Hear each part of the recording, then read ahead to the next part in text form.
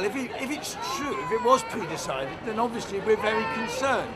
Uh, whether I suspect Mr. Blatter will now say he was misquoted because he realised how embarrassing it was. And so do you think it's true? Do you think it was pre-decided? I, I have no idea.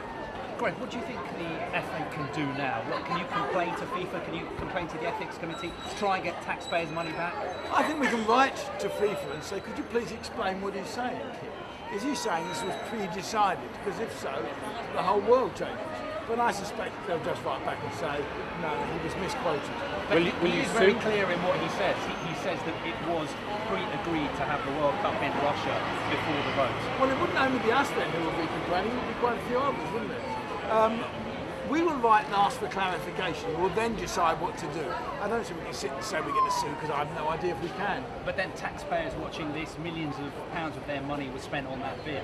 Will you do everything you can to get some of that money back if possible? Well, if you could get the money back, we- it's not only taxpayers' money, it's FA money as well. We would like to get some of it back, but I think that's jumping the gun. I think you've got to make sure uh, is what he is quoted as saying what he is now going to say he meant. Because I suspect, knowing Mr. Blatter, he'll just say, oh, well, that was just the media. He blames the media for most things. Why shouldn't he blame the media for this? He made it onto their video game cover, but Jordan Henderson didn't quite have what it takes to make FIFA's Ballon d'Or list.